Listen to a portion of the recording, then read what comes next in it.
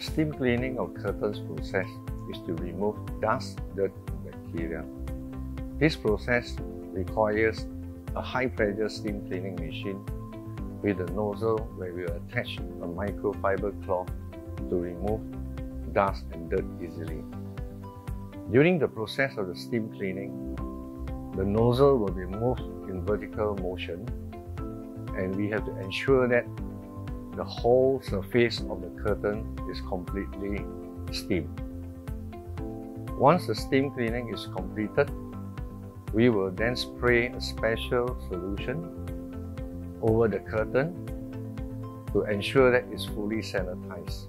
In order for the curtains to be clean and hygienic, it is important that we clean the curtain at least once every three months.